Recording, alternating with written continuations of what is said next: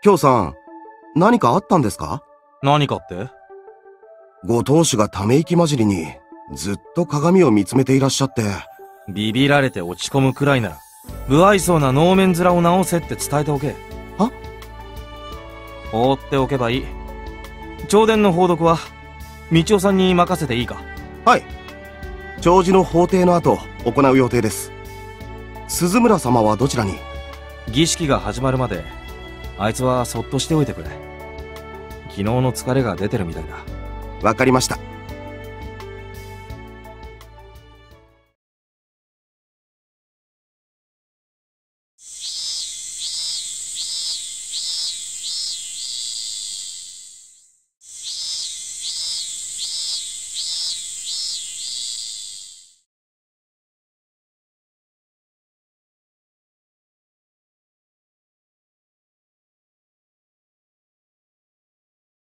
遺族を代表いたしまして、出棺に先立ち、皆様にご挨拶申し上げます。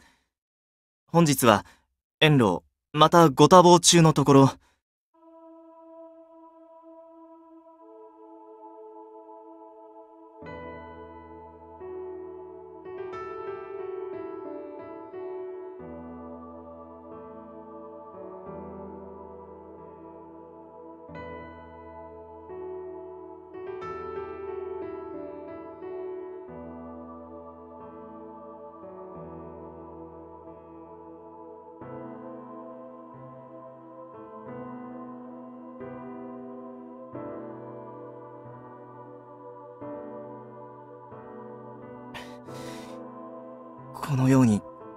大勢の方にお見送りいただき、さぞかし祖母も喜んでおることと存じます。皆様、祖母、花亡き後の、個人同様のご講義を賜りますよう、お願い申し上げます。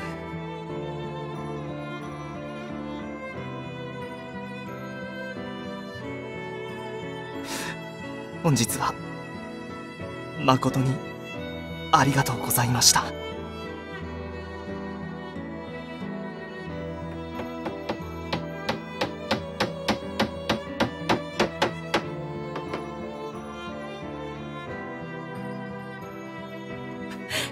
花さんありがとうね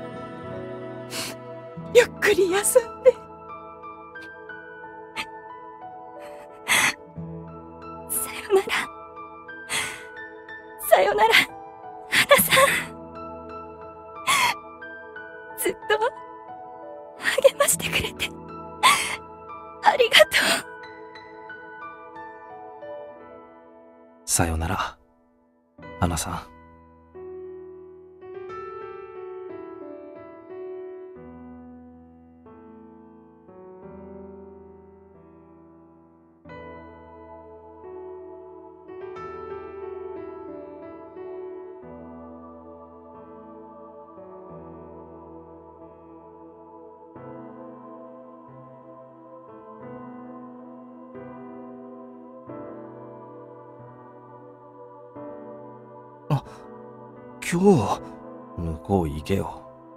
あ、うんこれ、ハンカチ、使って。模試のくせに、他人を慰めてんじゃねえよ。バカ。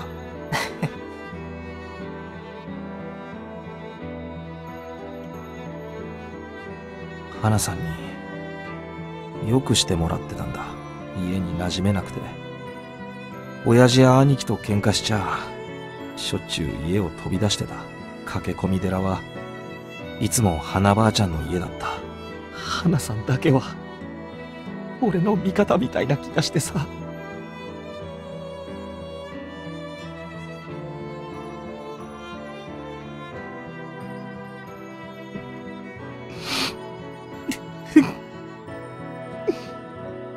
早すぎるだろ。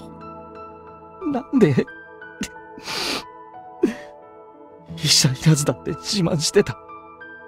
あくまで生きて、表彰状もらうって。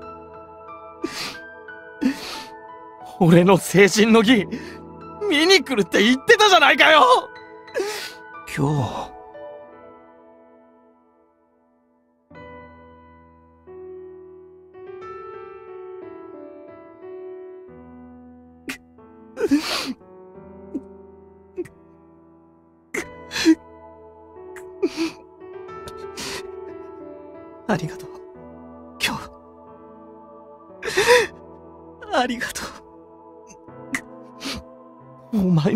泣いてるわけじゃねえよ。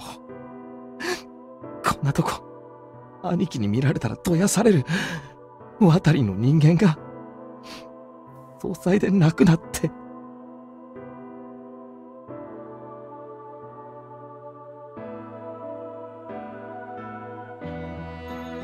いなくなっちまったんだな。もう、もう、ニコニコ笑ってる、あの顔も、見れないんだな。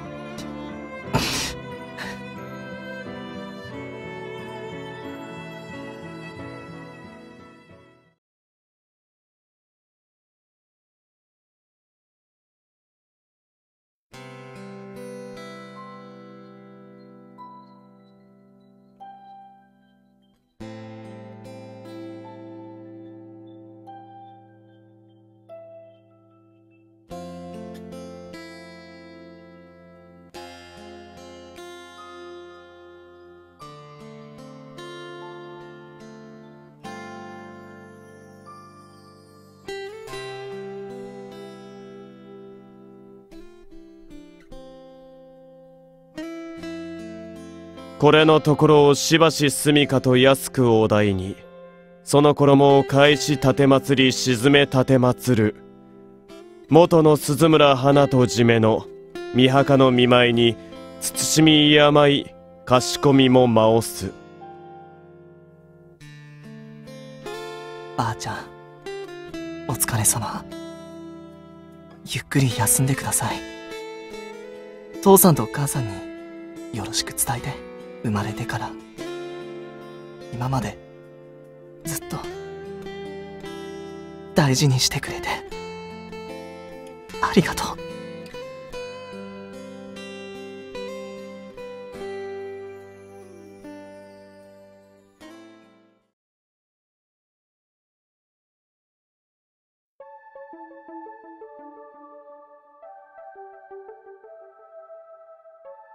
まだあるんだ。そろそろ言うと思った。心配するな。非火災と直来で全部終わる。嫌なわけじゃないよ。ずいぶん手厚いんだなって驚いたんだ。今度は何をするの？非火災は死の汚れを家に持ち込まないようにする儀式だ。祭壇のある部屋で、祭主が祭りごとをあげる。家に上がる前に、上手で清めて、渡りの人間に塩をまいてもらえ。玄関先で祭主が汚れを払ってくれるから。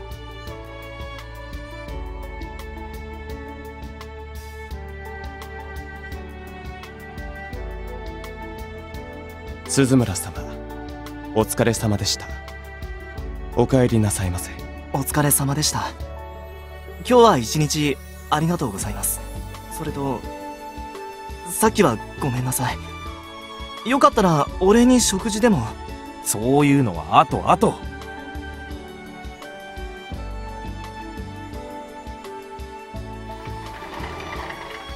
な、何？採取への礼は直来で行う。直来っていうのは一言で言うと宴だ。お礼の宴も込み込みコース。今日。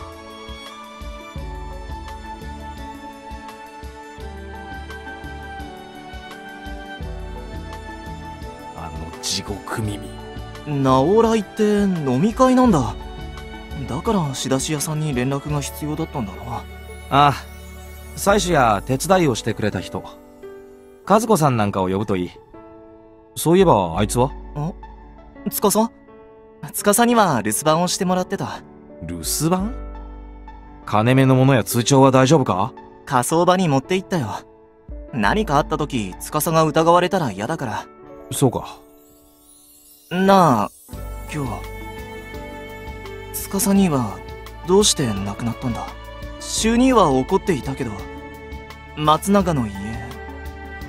司兄の家族と何かあったのか？俺も詳しくは知らない。亡くなったのは事故で遺族と揉めたのは金銭トラブルだって聞いてるけど。金銭トラブル？ああ。あまり人に言わない方がいいぜ。島では総裁の時の揉め事は禁忌なんだ。亡くなった人の魂がそばで見てると信じてるからな。個人の前で恥をさらすようなことはしない。遺産争いなんてしでかした浅ましい奴らだと白い目で見られて村八分にされる。村八部って？仲間外れみたいなもんだ。小学校みたいな話だけどこういう田舎だと深刻なんだよ。とにかく今夜は金の話をするな。司のこともしっかり見ておけ。俺はあいつのことを悪い奴じゃないと思ってるけど。何かあった時はお前まで蔑まれる。家族の財産も守れなかった。だらしない男だってああ分かった。気をつける。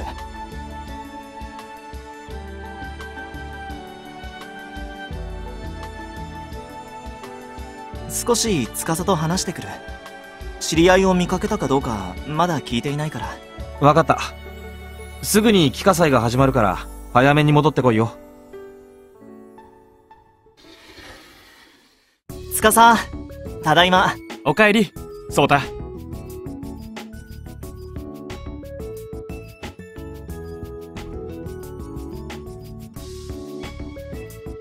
ばあちゃん無事にお骨になったか？うん。お墓に埋葬してきた。よかった。一安心だな。そうだな。ひとまず。司は知り合いの人見つけられた？いやわからなかったよ。そうか。参列者の中にはいなかったのか。何年も昔に働きに来てたお兄ちゃんに俺が似てるって颯太と同じことを言ってた人はいたけど軽率な提案をしてごめん。不愉快な思いをさせた上に何の手がかりにもならないなんて。そんな顔するなよ。颯太の行為は本当にありがたかった。とても感謝してるよ。島中を足で訪ねて回れば誰か一人くらい知ってるかもしれない。世話になったな。そうだ出て行くのか？葬儀が落ち着いたらおいとまするよ。俺がここにいたら颯太に迷惑かけちまうだろそんなことないよ！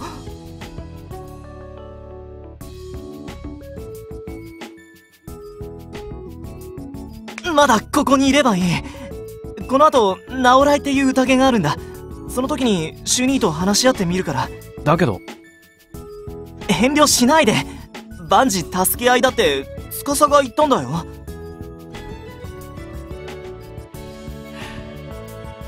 ありがとう。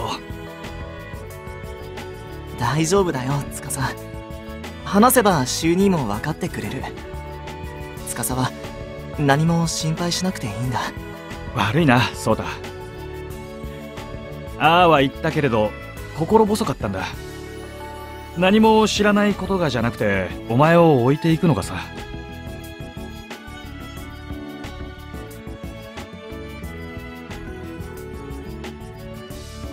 ありがとう。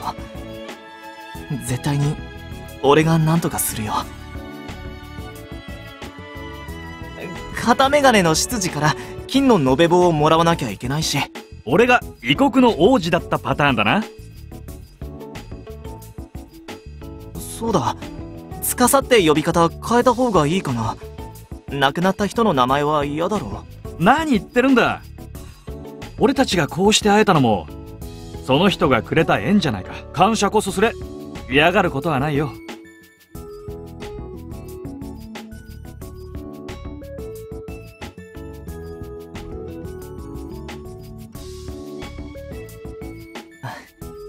みんなのところに戻る。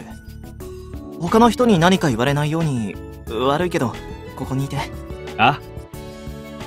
どこかに行ったらダメだよ。あ？お前を待ってるよ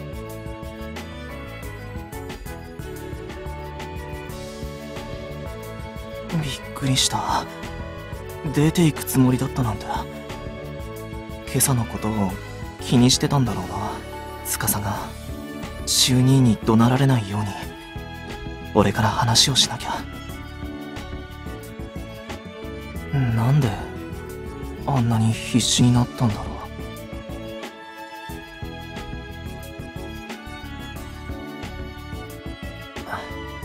司兄に似てるからって。感情移入しすぎじゃないか？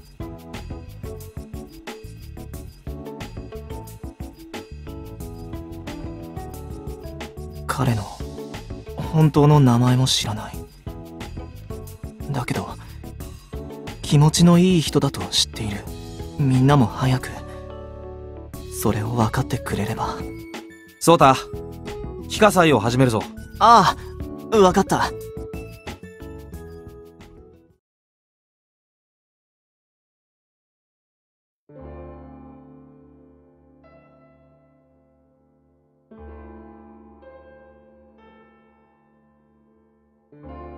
この人さえ納得すれば。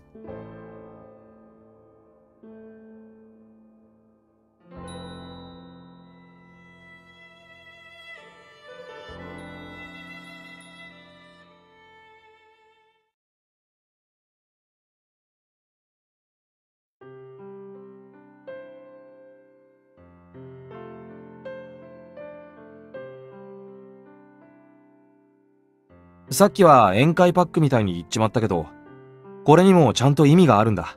昨日、お前は鯛飯を食って、花さんと同じ食事をしただろ神様と同じものを食べて、非日常にいたんだ。今夜は人と同じものを食べて、日常に戻っていく。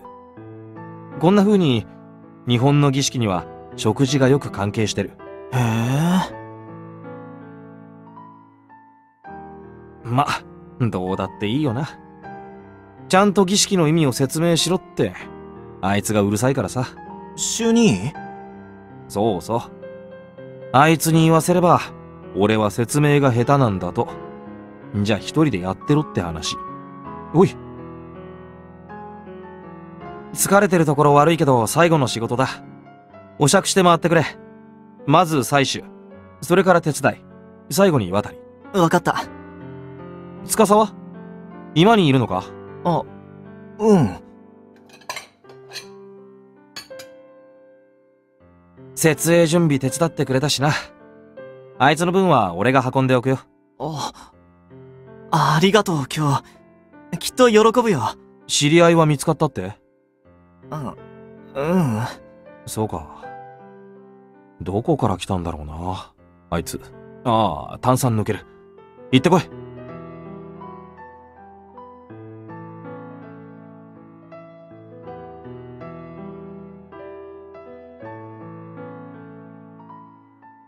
本日はありがとうございました。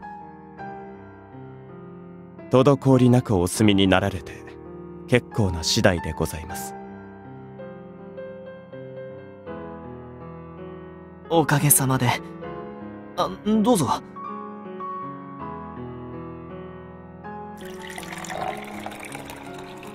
この人にさえ見つからなければ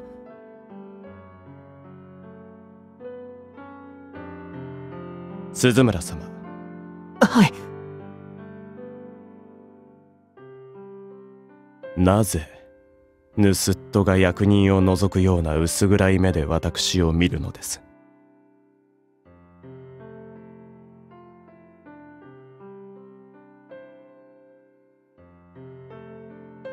あの俺は。飲みなさい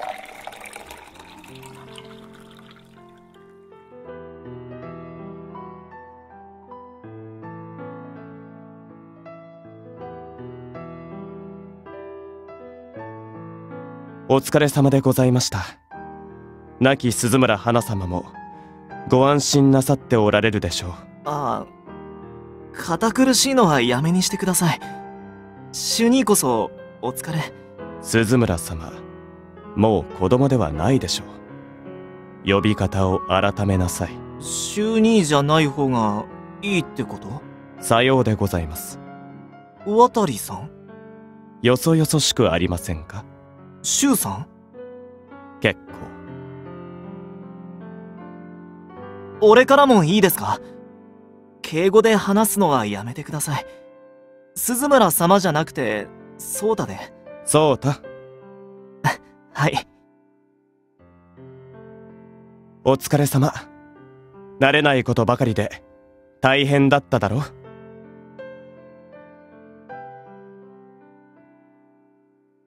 他の方にご挨拶をしてきなさい済んだら話があるわかりました。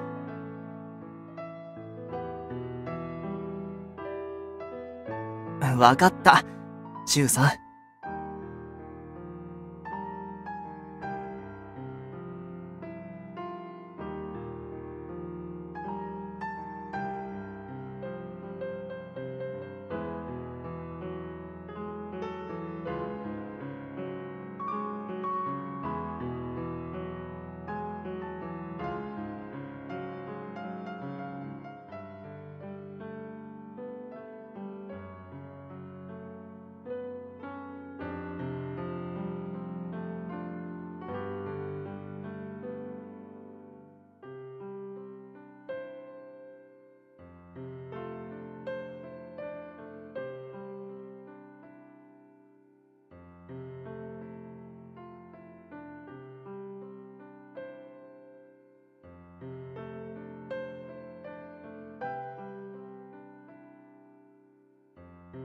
戻りました。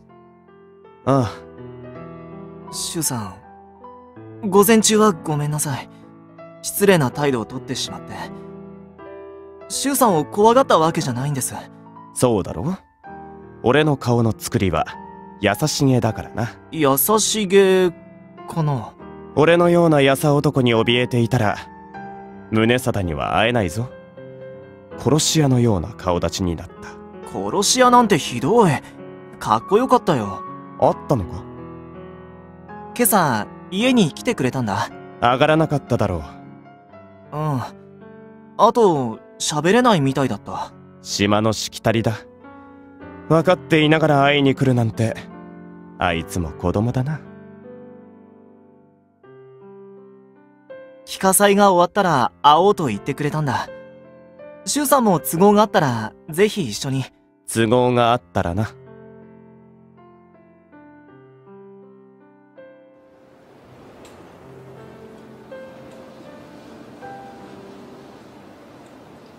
元気だったか？元気だった？今日は大きくなったな。驚いたよ。そうだろシュウさんに抱っこされてる写真を見せたら、赤くなってた。今はなかなか抱いてやれないからな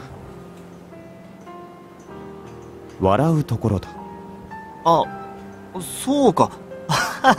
面白い。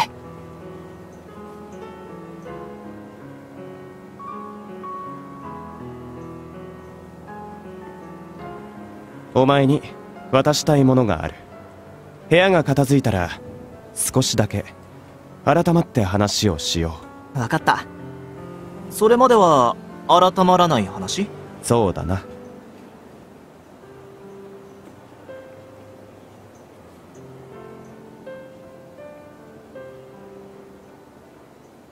昨日、シュウさんを見て、美人の仕草のことわざを思い出したんだ。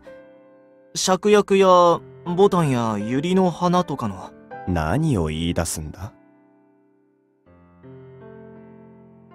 雰囲気が美人だなと思って、男だと何に例えるのかわからなかったんだ。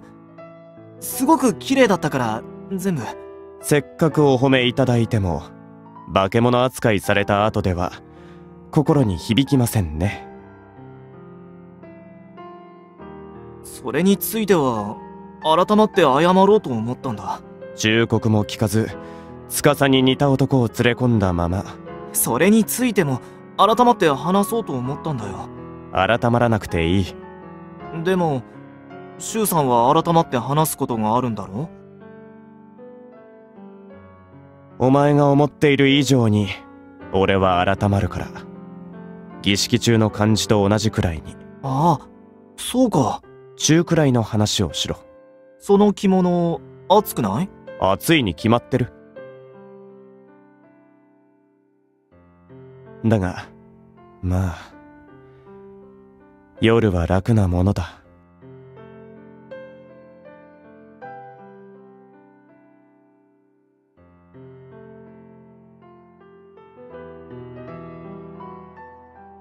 昔、国語の授業を受けている時に、主任を思い出したよ。名前週3。あ慣れないな。これってそのうち慣れると思う？慣れなさい。それで？ああ、授業で習った文章が、週3みたいだと思ったんだ。知ってるかな？月日は白帯の、月日は白帯の価格にして、行き交う年も、また旅人なり。それ、船の上に生涯を浮かべ、馬の口捉えて牢を向かうる者は、日々旅にして、旅を生とす。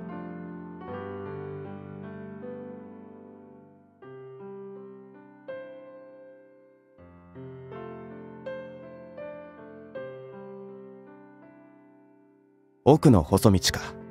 なんとなく似ていない？お前は怖いな。え、いや、似てはいないだろう。松尾芭蕉は、日本を旅した俳人だ。島を離れたことのない俺には、似つかわしくない。そうかな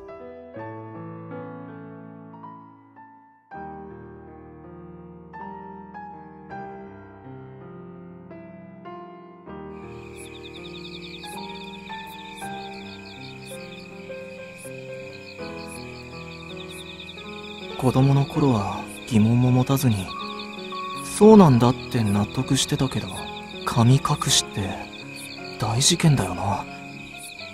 大丈夫だったのかな？柊さん。大丈夫だからここにいるんだろうけど。もう怖くないのか？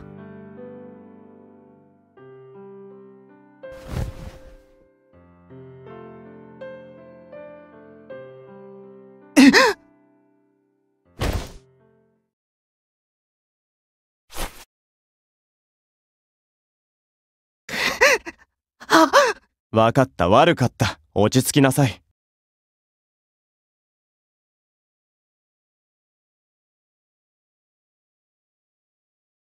わかった。和ませるために小話をしてやろ小話？う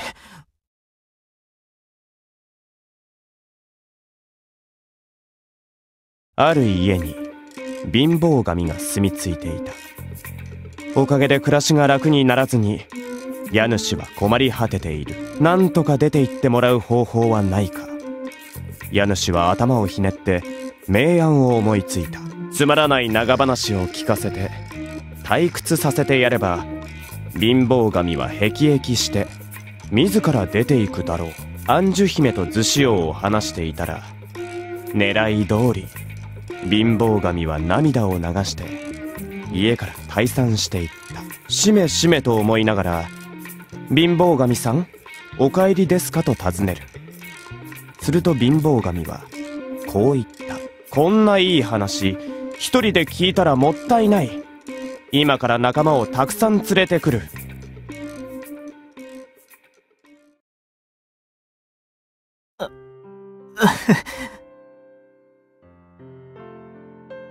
よし 今のは話の内容じゃなくてシュウさんが面白かった。どうして？変わってるって言われない？お前ほどじゃない。しかし俺はお前に何をしたのかな？褒められたことではないのだろうが。よくよく人に嫌われる性分だ。あ嫌ってなんかいないよお世辞はいい。本当だ。会いたかったんだよずっと。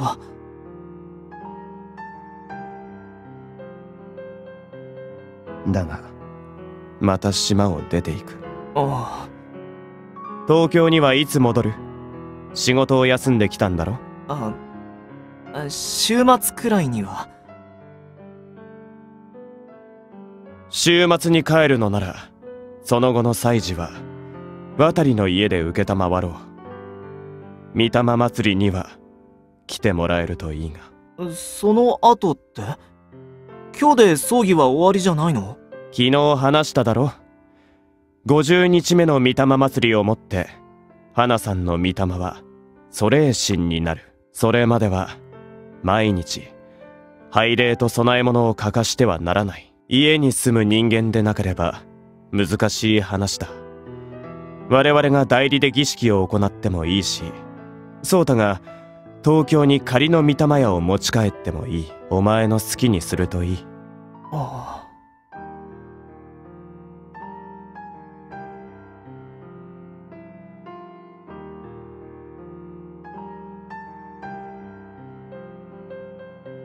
新総裁お願いしますってばあちゃんは言ってた。やりきったと思ったのは。俺の勘違いだったんだ。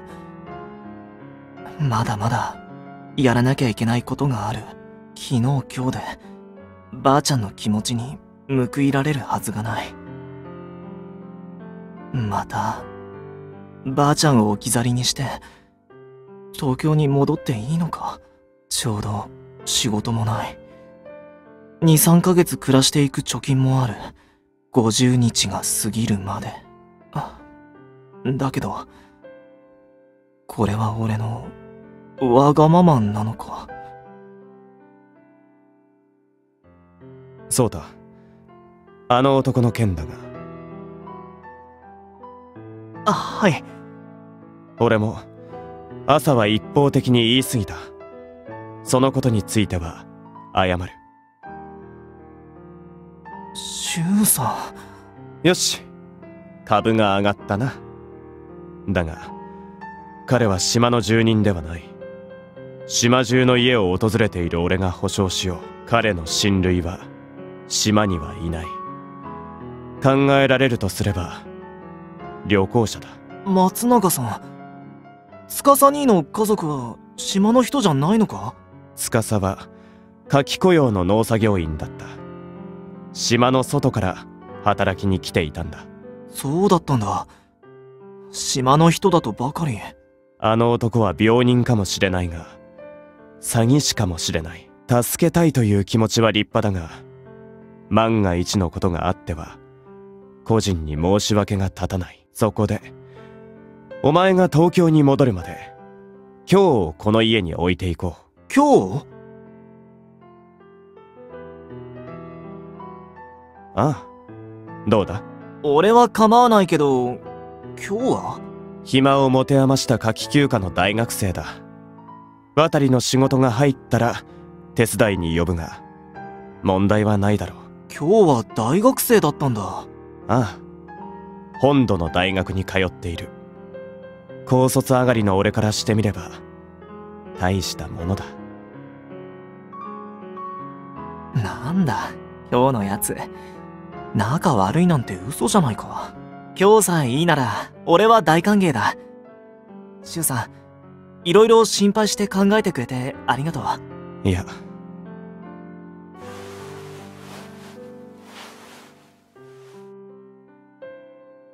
我が身の未熟さが不甲斐ないばかりだ。あの面影にはまだ未練がうずく。それでは改まった話をしよう。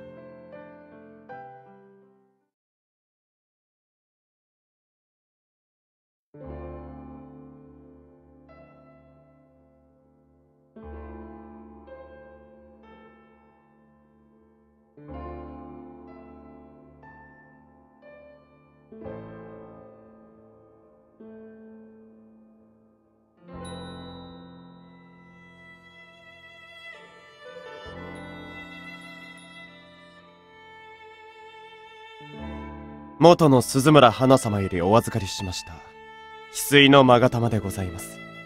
どうかお納めくださいませ。まがたま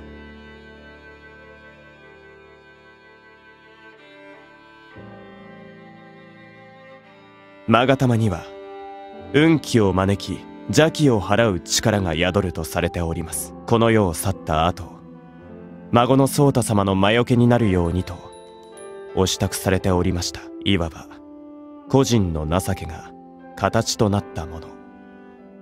お守り代わりに御身に携えてください。